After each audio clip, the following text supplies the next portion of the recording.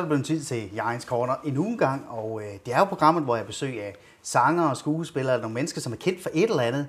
Og øh, hvis det er det, I vil se, ja, så bliver hængende her på skærmen i de næste 30 fantastiske minutter. I dag har jeg besøg af en vaskægte rapper. Uh, han rappede sig faktisk til en sejr i Melodi Grand Prix tilbage i 1997. Og uh, det er jo ret stort, må man sige. Så velkommen til dig, Cool Bandy. Tak skal du have. Uh, du er jo faktisk, ja, du har faktisk skiftet navn jo. Fordi ja. førhen, der hed du nemlig Kølikaj. Og det er der nok rigtigt. mange, der kan huske dig for ja. det navn. Det hænger i hvert fald fast endnu, kan man sige. Ja, du kan ikke rigtig slippe det, vel? Eller jeg folk kan, vil i hvert fald ikke slippe Jeg kan godt slippe det. Ja. Øhm, øh, jeg har sluppet det. Ja. Men folk har svært ved at slippe det. Øhm. Ja, men det er jo selvfølgelig fordi, at du blev simpelthen så kendt der i 1997. Ja. Øh, du vandt jo faktisk øh, Melodi i 1997 med nummeret Stemmen i mit liv. Ja. Øh, og det var et rap-nummer, og du var faktisk den første, der nogensinde vandt det danske Melodi Grand Prix med et rap-nummer, ikke? Jo, det var det. Det var helt nyt dengang, kan man sige. Øh, mm. Øh, rap var jo øh, stort i Danmark på dansk på det tidspunkt. Og øh, jeg stak ud frem og øh, havde lavet en sang sammen med Chief One, ja. som så øh, endte med at gå hele vejen. Øhm, det havde du ikke regnet med, havde du? Overhovedet ikke. øh, det var sådan lidt for sjov i starten, ikke?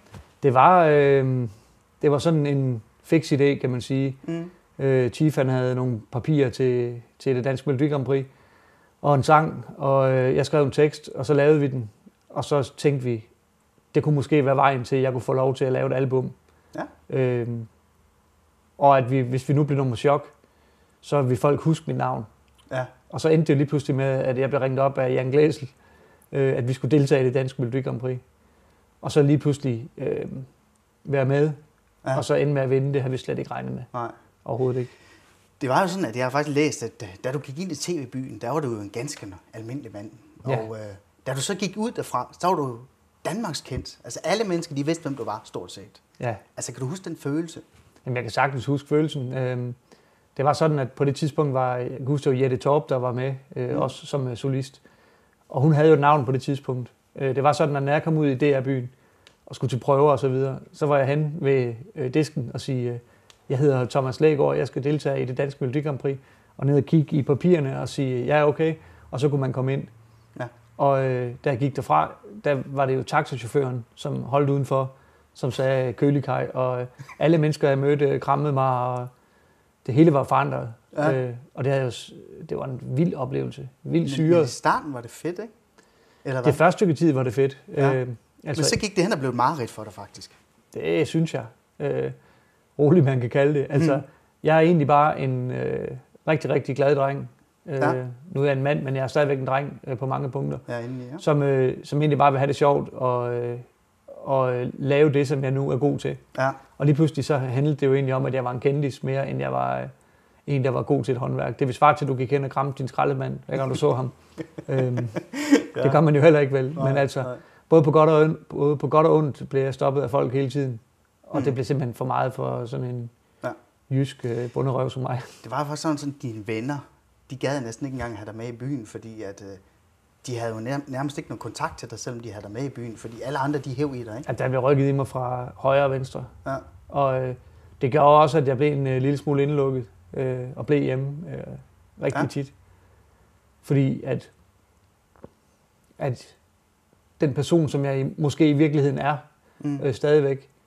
Øh, ikke behøver al den opmærksomhed. Øh, ja. Men det første stykke tid var det jo skide sjovt. Øh, øh, og øh, blive hyldet på den måde. Ja, ja. Det var da en drengedrøm øh, uden lige. Øh, du fik noget øh, credit, kan man godt sige. Altså, jeg, ikke, jeg, jeg fik i hvert fald, folk synes, det var en, der var mange, der synes det var en god sang, jeg havde lavet. Ja. Og det var der rigtig mange, der fortalte mig. Mm. Men det miljø, jeg kom fra, øh, var jo ikke alt for stolt øh, over, at den her undergrundsrapper, han lige pludselig øh, vandt et dansk Melodi Grand Prix. Nej. Og det forstår jeg, øh, i dag forstår jeg det godt. Altså, ja. Jeg vil nok have haft det på samme måde. Ja. Så du gik faktisk øh, og, og frygtede og, og vende det internationale Melodi Grand Prix? Ja, allerede, allerede på det tidspunkt. Ja hvor det, først, det går først op for mig, at jeg skal med til det internationale Melodi Grand Prix. Det har jeg slet ikke tænkt på. øh, og da vi så skal det, og, øh, og jeg er faktisk allerede træt af at, øh, at være kendt, og øh, det setup, jeg har bag hos mig, er heller ikke det rigtige for mig. Øh, så på det tidspunkt, hvor jeg skal til, til Dublin, mm. øh, vi bliver tilbudt at synge sangen på engelsk, Ja. Øh, nu, er jeg ikke, øh, nu har jeg ikke den bedste dialekt til at synge på engelsk. Nej. Men allerede der tænkte jeg, shit mand, hvis jeg synger den på engelsk, og den er lige så fængende, og vi går hen og vinder, det, ja. kunne, jeg, altså, det kunne jeg slet ikke forestille mig. Du slet ikke rumme det? Nej.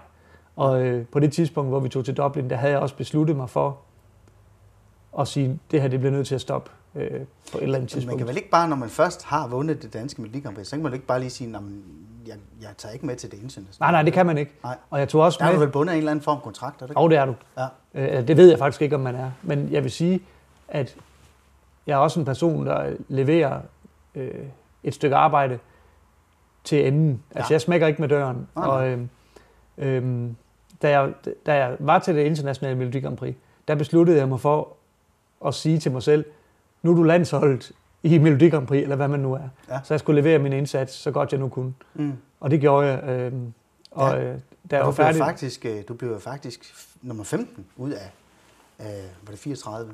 Jamen, jeg, jeg, jeg tror, jeg kan ikke huske, om der var, øh, hvor mange der var med, om det var 25. 25, 25 var det. Men jeg havde også en lidt hård øh, skæbne med mig i øh, rygsækken, fordi at Tommy Sebak havde fået 0 stjerner, eller meget, meget få stjerner. Var faktisk ja. blevet nummer chok med under stjernerne på himlen, tror jeg, der var. Så vi skulle faktisk op og blive blandt de 3-4 første, for at Danmark kunne komme med okay. øh, året efter. Okay. Så det var lidt en hård, altså, jeg skulle faktisk have vundet. Men øh, ja. det var godt, at jeg ikke gjorde det. Ja, ja, ja. Så øh, åndede du lettet op. Ja. ja. Det var også på det tidspunkt, hvor Melodi Grand Prix var nede i en øh, lidt en down-fase. Det blev faktisk holdt det år ude i, øh, i DR-byen, hvor man okay. ikke brugte så mange penge på det. Og øh, når man så ser, hvad det bliver brugt på det i dag, så øh, var det, det jo... godt, de ikke lukkede det ned dengang, kan ja. man sige. Ja. Ja, det er, jo, det er jo mange, mange, mange millioner, der bliver brugt på det i dag. Jeg ved ja. slet ikke, hvad det blev hvad det koster at afholde det i år. Nej, men, øh, det tør jeg slet ikke regne på. Helt vildt. Ja. men til gengæld var det vist også noget af det flotteste nogensinde. Ja, det, det er i hvert fald det, som jeg havde fornemmelsen af hjemme i stuen ja. i hvert fald. Ja. Men så blev du simpelthen så træt af, af at være kølikaj. Ja. Så du valgte simpelthen bare at skifte dit navn til jamen, Cool Bandy. Jamen, jeg valgte at sige, øh, at hvis kølikaj var en vare, mm. så er varen udgået. Okay. Og så flyttede jeg fra København og tilbage på Djursland. Mm. Og så havde jeg brug for, øh, og øh, det der var fedt ved at komme tilbage til Djursland, det var jo for dem, øh, man har jo altid et eller andet øgenavn, når man kommer fra, øh, fra øh, landet, og mit det var Okker, og for folk var jeg bare Okker. Mm. Jeg var ikke, øh, jeg var ikke kølikaj mere. Nej. Og så havde jeg brug for, for øh, at fortsætte med mit rap og finde et nyt navn. Og så kom det her Cool Bandy ud af ingenting. Ja. Og så sagde jeg, men yes, så hedder jeg Cool Bandy. Ja. Og så har jeg så brugt al den tid siden 1998 på at finde ud af, hvordan skulle Kulbandi rigtig præsenteres. Mm. Og det er så det, jeg gør nu. Ja. Så det, det er ikke bare en fix idé, jeg har fået for at lave en plade igen. Det er noget, ja. der har været lang, lang tid undervejs. Men altså, den der lange periode, hvor du faktisk gik og lavede musik og sådan noget, så var det ja. faktisk to af dine kammerater, der faktisk tilbød dig, at de ville betale for at få det udgivet, ikke? Ja, det er rigtigt. Fordi at de synes, det var så fedt, at jeg har, øh, det kunne ikke bare ligge i derhjemme ved dig. Nej, det er jo det. Jeg har, jeg har jo bare lagt tingene ud på MySpace og på øh, SoundCloud og så videre. Mm. Øh, og så havde jeg to kammerater, en der hedder Anna og en der hedder Nils Papper, som øh, kom og sagde til mig, at nu var der ikke flere undskyldninger. Jeg havde lavet en masse undskyldninger for, at det skulle være independent, det skulle være på vinyl, ja. og der skulle ikke øh, være reklamer, der skulle ikke være noget som helst. Og så lige pludselig så kommer de og siger, nu gider vi ikke at høre på dig mere. Nu Nej. gør du det bare, og så skal vi nok betale. Okay. Øhm, og det, det gav mig en, øh, en øh, det gav mig også lidt en frygt, for at skulle levere noget, men det gjorde også, at der var ikke flere undskyldninger. Jeg kunne ikke Nej. finde på flere undskyldninger. Nej. Og så gik jeg i gang med at lave den her, øh, den her plade. Og så tænkte jeg, hvor langt rækker det her? Ja. Og så smed jeg så en musikvideo ud, øh, Vil du være min? Mm. Øh, som sådan lidt en prøver for, hvad sker der? Ja. Og da jeg så smider den ud, så kommer der en masse opmærksomhed på mig. Og så øh, kører det egentlig derfra. Ja. Øhm. Jamen skal vi da jeg ikke se den musikvideo? Jo. Vil du være min? Det synes jeg. Super, det kommer jeg at se.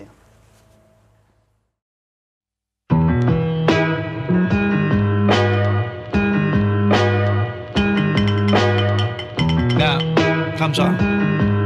Ja, ja, kom så. Medina har et guldæg i sin sluggy. Det er mandag morgen. Medina, hun har lige fået løn. Så jeg siger bare, at alt må blive sin sidste bøn. Min kone har penge på lommen, så jeg står der og tænker, hvad skal jeg mon købe i dag? Kan jeg mon nogen længere? Konen tager afsted hver weekend, så jeg har fri. Det er det, jeg kan lide. Jeg ringer til venner, måske en, måske to, måske tre, måske fire, måske ti. Og ringer til nogle hoodies. Hvad så der er i lus på trøjen? Og de kommer, for de vil gerne i mit boblebad. Medina har betalt, så jeg er glad. Og hver eneste aften, hvor hun er på job, åbner jeg et havfuld flasker og skruer volumen op. Medina, jeg bliver så glad, det er lige før jeg kan grine. Ja, jeg sidder bare hjemme og fyrer rime. Konen tjener pengeren, jeg sidder op til klokken, den er længere. Og laver omkvædet, der er fingeren af svingeren og swaggeren. Jeg tror sgu, at jeg lægger mig ned og slapper af med sapperen. Jeg kigger på kanaler, vi har alle sammen Fordi jeg alle sammen betalt af der Medina, Medina, hun tjener alle de penge, hun kan Så jeg kan være Danmarks mest heldige Independent, mest moderne mand. Moderne mand Fordi Medina, hun gør det muligt. Vil du være min her med Cool Bandy? Og øh, det er en god øh, musikvideo. Og man må jo sige, at øh, du var virkelig sulten, dengang den skulle laves. Jeg er altid sulten. øhm, Ja, jeg og tørstig også. Det har jeg også. Altså, det var også... Øhm, jeg kan godt lide at spille roller, og jeg kan godt lide at, at sætte noget visuelt til mine ting. Mm. Og så, så fik jeg ideen til den her video. Og øh, de dygtige drenge fra Mindsparks, de var gode til at fange, øh, til at fange tråden og få det Ja. til at se, se rigtigt ud. ja, jeg får spist en pizza i en, øh, i en god fart. Ja, altså du er ikke så langsom til at spise pizza, Nej. det må man sige jo. Så ja, ja, og, og trøjen den bliver heller ikke ved med at være lige, lige pæn bag. Det gør den heller ikke, nej. Men dit nye album, ja. Ja. Lokalisering, som den hedder. Ja. Hvad er det for et album, hvis du, album, hvis du ligesom skal beskrive Jamen, det er, øh, det er mig, først og fremmest. Mm. Det er både Thomas Lægaard og det er Cool Bandi, øh, som smelter sammen. Mm. Mm. Øh, og det er... Øh, det afspejler en, øh, en mand på øh, 42 år. Og så er, det, øh, så er det mig, som har malet det hele, kan man sige. Jeg har lavet alle musikken. Mm. Øh, jeg har lavet alle lydkulisserne, jeg har lavet øh, alle teksterne. Så det er det, jeg gerne vil. Det er det, jeg gerne har vil. Jeg har ikke skulle tænke på, øh, på hitlister. Jeg har ikke skulle tænke på at øh, lave noget bestemt. Jeg har lavet det, jeg har haft lyst til at lave. Og, øh, og lokaliseringen er, øh, er mit billede på, hvor jeg er lige nu. Det er at- finde ind til sig selv, hvad skal jeg sige? Altså, det hjælper ikke, at jeg øh, siger, at jeg drikker champagne og, øh, og øh, går med let, let påklædte piger, for det er ikke det, jeg gør. Nej. Og så er det nogle fortællinger fra mit, øh, fra mit liv, som jeg, jeg prøver at putte ind i det. Ja. Det skulle gerne være sådan en voksen mand, som fortæller nogle historier. Ja. Øhm, det er det, jeg har prøvet på at gøre. Så ved jeg også, at du kæmper lidt for lokalsamfundet. Ja, altså, det du gør kan jeg. godt lide det lokale. Det du er ikke så meget til det der med kæmpe store center og Nej. alting, det skal være stort. Du kan godt lide, at det skal være småt. Ja, det kan jeg. Jeg kommer jo selv fra en lille landsby, der hedder Mm. Pindstrup, øh, Mm. med meget få indbyggere. Og øh, selv i Fredericia, hvor jeg bor nu, der ser Mm. jeg butikker luk og luk og luk og luk. Alle de der øh, butikker, som ikke er en del af en kæde, de lukker, og det er de samme kæder, der, øh, der slår op. Og øh, jeg er bange for på et eller andet tidspunkt, at vi ikke kender vores naboer mere. Og Ja. vi ikke har et sted at gå hen, hvis vi skal øh, købe noget, eller hvis vi skal søge trøst, eller vi skal have en, øh, en hjælpende hånd. Så derfor så synes jeg, at vi skal værne om vores øh, lokalsamfund. Ja. Jeg synes, at folk de skal hjælpe hinanden. Og, øh, og det, det er det, som jeg tænker ved, også ved lokaliseringen. Det blev det jo lige pludselig til, for i starten handlede det om at lokalisere mig selv. Mm. Men så tænkte jeg, for at jeg kan lokalisere mig selv, så skal jeg også have hjælp af nogle andre. Øhm, og det er jo egentlig det, som, som hele projektet det bærer på, det er, at et, vi bliver nødt til at hjælpe hinanden. Mm. Og hvis du vil have hjælp af mig, så vil jeg gerne hjælpe dig, og så gør du også noget for mig. Så man hjælper simpelthen hinanden. Ja, Det er jo Og- også et godt samfund, kan man sige. Ikke? Hvis Det- vi alle sammen kunne hjælpe hinanden lidt. Jamen, lige, lige nu synes jeg bare, at vi træder på hinanden på alle Ja. mulige måder. Ikke? Ja. Og hvis folk øh, stikker snuden frem, eller der sker et eller andet, så kommer der en tråd så lang på Facebook, hvor folk de sviner en, der Ja. har gjort et eller andet. Ja, Og det jeg synes ikke-. Det synes jeg, og jeg synes, vi skal ja. bakke op omkring hinanden. Mm. Øhm, Og så accepterer vi også, at forskellige alle sammen. Ja, det, og jeg er forskellig. Ja. Jeg er ikke... Øh, jeg er øh, en, øh, en meget speciel fyr og en følsom, øh, en følsom gut, Ja. som har nogle ting på, øh, på hjertet, og det vil jeg gerne ud med. Mm. Og, øh, og det er derfor, jeg har lavet lokaliseringen, som jeg har gjort. Det er, jeg har lavet den for mig selv i første omgang. Ja. Og jeg siger, jeg kan godt lide det her. Og så lavede jeg den for at lave en vinylplade. Så det vil sige, at missionen er fuldført allerede i det øjeblik, jeg har lavet den. Ja. Ja. Og så alt andet, hvad der vil komme til, Mm. det er plusser. Så Ja. ja. der er ikke nogen, der kan tage der er ikke nogen, der kan tage gnisten fra mig, eller pille det hele fra hinanden, fordi jeg er tilfreds. Ja. Og, og det har været, øh, det har været hvis jeg, det er faktisk det, som jeg har kæmpet med alle de år, det er, hvis jeg skulle lave noget, så skulle det være 100% mig. Ja. Og det lykkedes. Så vi kan jo se øh, det fine album her. Ja, Ja. Så øh, det er jo sådan et, folk de simpelthen bare må ud og købe. Det Kan man købe dem på butikkerne, eller hvad? Man kan købe øh, vinylpladen, kan man købe øh, øh, i butikkerne øh, Ja. ja. og på nettet, og øh, CD'en kan man kun købe hos mig. Okay. Altså pladebranchen, de siger jo, at, øh, at CD-salg, det er slut. Ja, Øh, men det nægter jeg at tro på, fordi at, du øh, kæmper videre. jamen ude i det lokalsamfund, hvor jeg kommer fra, Ja. der øh, hænger der stadigvæk en øh, CD-afspiller på væggen eller et eller andet sted. Og når man kører rundt i sin bil, så er der også Ja. en CD-afspiller. Ja. Og, øh, så jeg har lavet en CD, og så kan man kalde mig naiv eller hvad man vil, men jeg har lavet øh, 300 CD'er. Men er du, er du så også sådan en, som simpelthen slet ikke har det på Spotify? Og Det er, også, iTunes øh, og... det er også på, Det er det. øh, på Spotify, øh, og du kan også øh, købe det på iTunes osv. Men, Okay. men for mig er det ikke øh, at udgive musik. Nej, det er den ægte vare, når man køber CD'en. Når man køber CD'en Eller eller, vinylen, vinyl. for, mig er, for mig er vinyl alt. Ja, Jeg vil aldrig lave en plade øh, igen, uden at lave en vinyl. nej. Øh, I hvert fald ikke en egen plade. Men det er jo også noget med, at det vender lidt tilbage. Der er jo nogen, der gerne vil købe vinyl ja. Stadigvæk, så man kan faktisk godt købe det meste nye musik på vinyl i dag. Jamen det er det, og, Ja. og, og, og for mig er det bare, altså jeg kan lave musik på min, øh, øh, ja, på min iPad, Ja. og øh, så kan jeg selv lægge det op på, øh, på Spotify eller på iTunes osv. Mm, mm. For mig øh, at udgive noget, det er at lave en bog, eller øh, udgive en øh, vinylplade eller en CD. Ja. Så udgiver man noget, fordi du har, du har lagt det ud hos nogen, som laver noget fysisk ud af det. Ja. Og det er det, jeg brænder for, fordi øh, for mig er øh, alt det andet digitale, det er reklame for mig på en eller anden måde.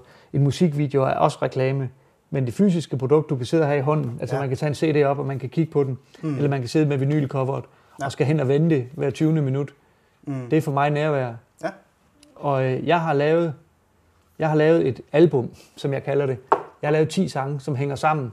Ja. Og jeg har ikke lavet fem hits, eller tre hits, og så gider du ikke høre resten. Jeg har Nej. lavet et album, som man skal høre ud i en, ud i en smør. Okay, så Og man, når kan man- ikke bare nøjes med lige at lytte et enkelt nummer? Jo, det kan man godt, men, men du bliver ikke underholdt på samme måde, Nej. som du gør ved en hitbasker. Okay, Øh, og jeg siger nogle, øh, noget værre volapyk på min plade, men jo flere gange du hører det, så begynder det at give mening måske? Ja, så begynder det at give mening, Okay. nøjagtigt. Det er det, der er hele planen med lokaliseringen. Okay. Så øh, Altså nu sidder jeg jo faktisk og glæder mig til at se den næste musikvideo, vi skal se på skærmen. For Ja. Den er nemlig også rigtig sjov. den er nemlig også rigtig skør. ja, så øh, det kan være, at øh, du kan fortælle lidt om, om den musikvideo. Jamen, det kan jeg godt. Altså, øh, det er jo et nummer, der hedder Nachos. Ja, Øh, det handler om, at jeg har nachos i min underbuks, og øh, øh, konen har sagt, at jeg skal være klar øh, derhjemme. ja, Og øh, øh, meget, meget, meget skør historie, hvis du lytter den, som jeg rapper den. ja, Men i virkeligheden handler det jo egentlig om noget helt andet. ja. Det handler om, øh, om de her kvinder, som er vokset op med Sex in the City og venner, og også har en karriere, Ja. og som forventer, at manden han skal være både det, som kvinden er, ja. og lidt til, og så skal han... Også hvad man... i Ja, man skal være det hele, ikke? Ja, Og, øh, og sådan hænger det bare ikke altid sammen. nej. Og så tænkte jeg, at jeg kan lige så godt overdrive det helt i, øh, i videoen. Så hvis en mand han øh, spiser nachos, så bliver han også meksikaner. og, øh, og derfor kører vi den helt ud i, øh, Ja, ja. i øh, videoen. Det er også Mindspark, som har øh, lavet den her. Ja, okay. Og øh, jeg kørte jo rundt en hel dag i Fredericia i min bil i forskellige, øh, i forskellige udklædninger Ja, og øh, spise nachos. Og jeg spiser, øh, der går lang tid, inden jeg skal spise nachos igen, vil jeg sige. Men det er bare en drengerøvsvideo, og Ja. øh, den øh, fortæller egentlig ikke hemmeligheden bag ved teksten. Den følger egentlig bare med den øverste tekst. Men nedenunder teksten er der et andet lag. okay. Og det må man selv lytte sig til nogle Ja. gange. Okay, her kommer Nachos.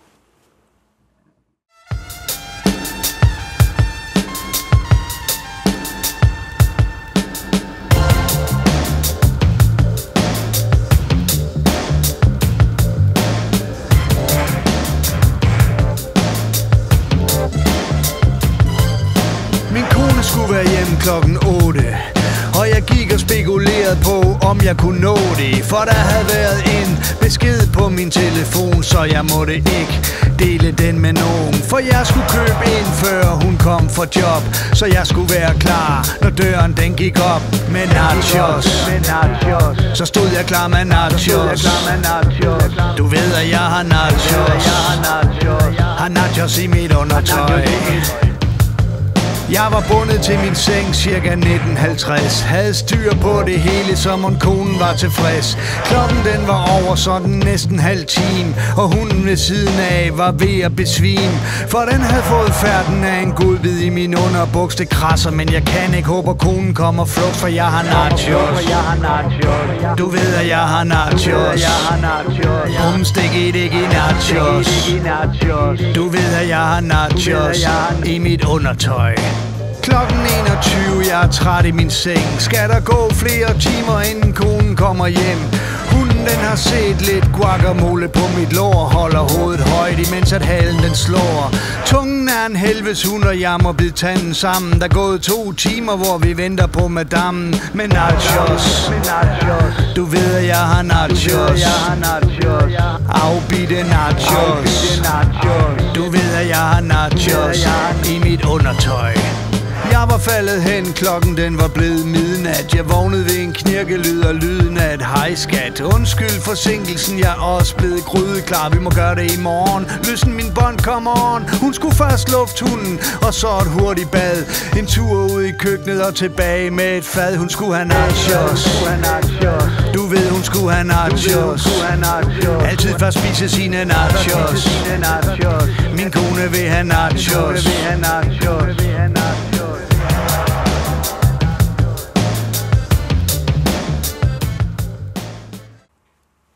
Fik vi så nachos. Og øh, det er altså en sjov video. Jeg må sige, jeg grinede altså meget, dengang jeg så den. Jeg, ja. jeg kunne simpelthen næsten ikke stoppe. Nej, det er det. og øh, du, kører som, som sagt rundt i den her bil og har alle de her kostymer på. Ja. Og var der ikke mange folk sådan, dengang du optog videoen, der kiggede noget? Der var mange, der, var mange, der kiggede, og, jeg, og jeg, jeg tænkte, jeg bliver bare i rollen. Mm. Og øh, man kan også se på i videoen på et tidspunkt, jeg hilser på, øh, på nogen oppe ved Føtex og så videre. Øh, men altså, det var jo vigtigt for mig, altså når jeg laver noget, så er jeg i det. Mm. Så jeg er også i rollen som den her skøre mexikaner, øh, eller flere forskellige skøre mexikanere. Ja. Og det prøver, jeg, det prøver jeg egentlig bare at gøre. Ja. Øh, men ja, det var vanvittigt. Øh, på det tidspunkt, hvor vi, vi har installeret en røgmaskine i bilen også. og, øh, ja. og øh, der til sidst i videoen, hvor at, øh, at jeg bliver helt dækket af røg ind i bilen, der kommer der nogle naboer ud, op hvor jeg har øh, studie, og tror, der er brændt i min bil. ja. så øh, så ja. der skete jo en hel masse ting. Øh, ja, okay. Så øh, Jamen, altså, det var en sjov dag. Sådan, sådan kan det jo gå, jo, kan man sige. Jo. Ja. Sådan kan man gå. Uh, men jeg tænker lidt på, uh, altså i nogle gang i den her musikvideo, der var du igen sulten. Ja, ja altså sulten. du er sulten altid. Er det sådan en bevidst handling, at uh, folk de skal vide, at du er sulten, når du laver musikvideo? Det er nok fordi, hvis de på et eller andet tidspunkt ser mig, så kan de altid byde på et stykke mad. Ej, jeg ved det ikke. Jeg, øh, det er nok bare fordi, at, at, at jeg kan godt lide, at, at tingene er simple. Mm. Og så fungerer det bare godt med noget op i hovedet, du, du ved. Altså, men jeg er også sulten. Ja. men øh, ja. men øh, ja, jeg ved ikke, hvorfor det kommer igen. Men det kan være, det er sådan en, en slogan for dig. Det kan godt ske, det bliver at du, du sådan glad for mad. Have, have det med i alle dine videoer fremover måske. Det er ikke, øh, ikke sikkert, men øh, det kan godt ske, at jeg skal tage det til mig. Du er startet på trenden, kan man sige. Det kan man sige. ja, ja.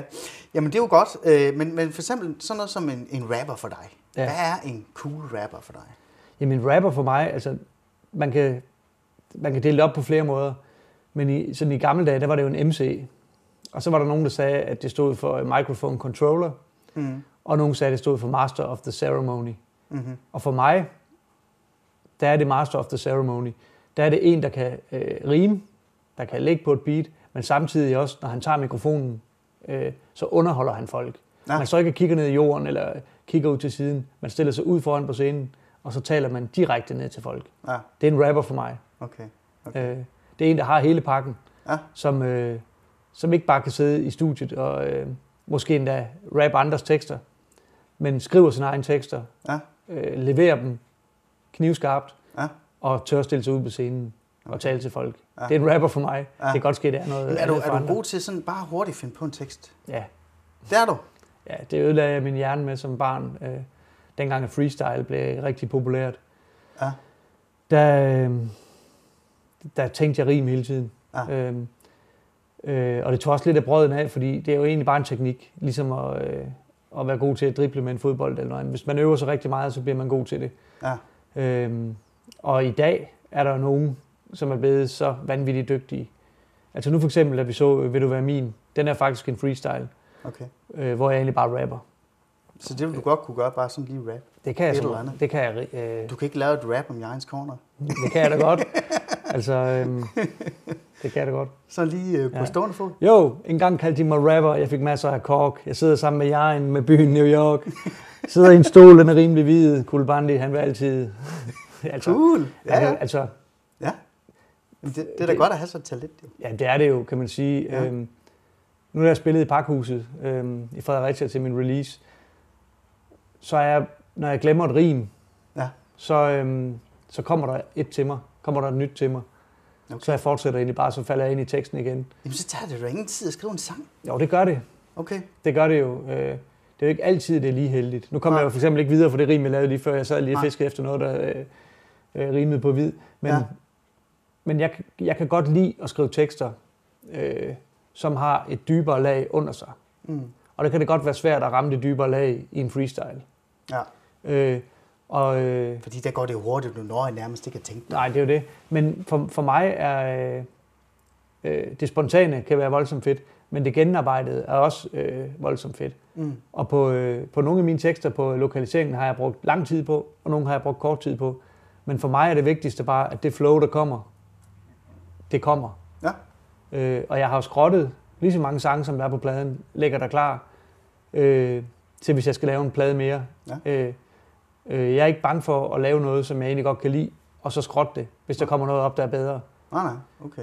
Øh, Så du føler ikke, at så er det forgæves? Altså, du tager bare hul på noget nyt, hvis det er Ja. noget, der er bedre? ja, jeg er okay. altid klar til at lukke en dør for at åbne en ny. Okay. Jeg har ikke nogen, øh, jeg har ikke nogen stolthed som sådan. Hvis jeg har lavet noget, som...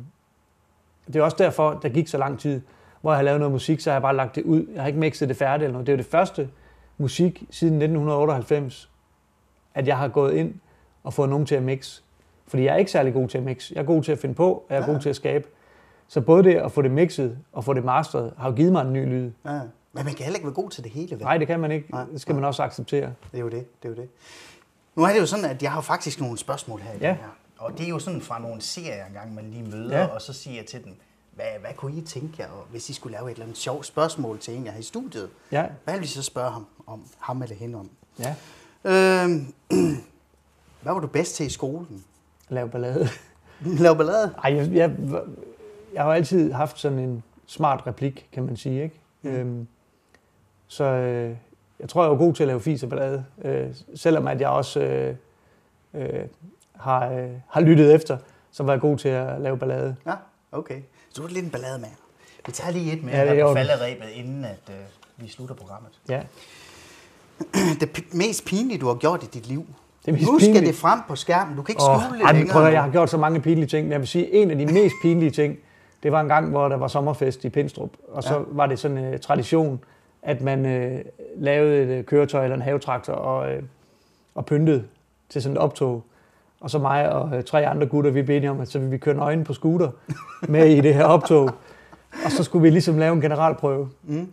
Og så løber vi ud af min lejlighed nøgen og hopper op på vores scooter og kører hen ad vejen. Og så når vi, vi når måske 30 meter hen ad vejen. Ja. Og så ser vi en af vores kammeraters kæreste komme gående.